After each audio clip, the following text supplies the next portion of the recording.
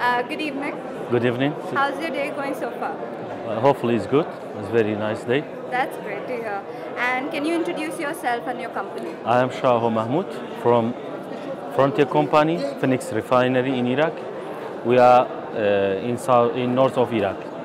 That's great to hear. And uh, what about your business uh, products and services? Could you elaborate on that? Yeah, Frontier Company, Phoenix Refinery, since 2012, we have uh, uh, started installing uh, uh, manufacturing, first manufacturing in Iraq, and we are the, we have been the first co- uh, company to export bitumen in Iraq. Uh, hopefully, we introduce Iraqi bitumen uh, to the global bitumen market, and uh, uh, now we supply most of uh, uh, country for the and bitumen. what is the core strength of your company?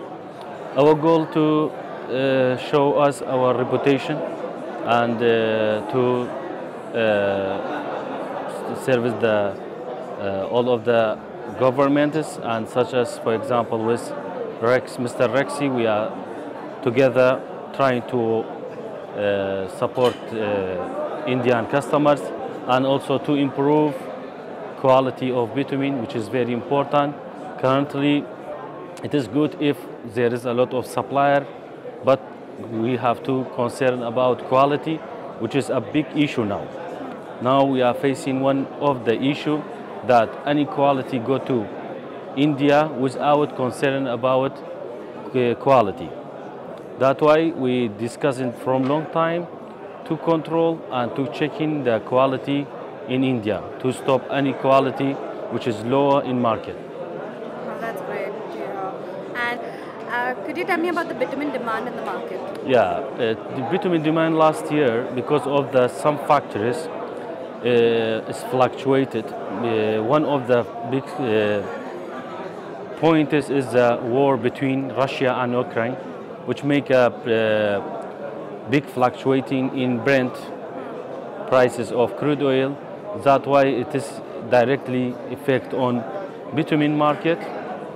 Uh, that's the one point that we had it in 2022. Uh, but inshallah for 2023, I hope that this problem will be solved and the market will be stable and we can stably working and without any headache uh, or problem that we had.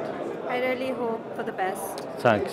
Thanks. And uh, finally, could you give a small feedback on the conference? Yeah, for the conference, hopefully the conference is very crowded and there is we, we meet a new companies always and any customer that I have now, I know them from this compa- uh, conferences in 2012, uh, 2017.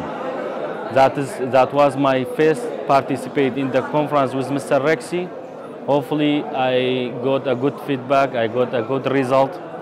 I after the, the conference, I my quantity of sailing was triple. Hopefully now also again again in each each conference. Of course, and I'm thank, thank you so much for your Welcome. feedback.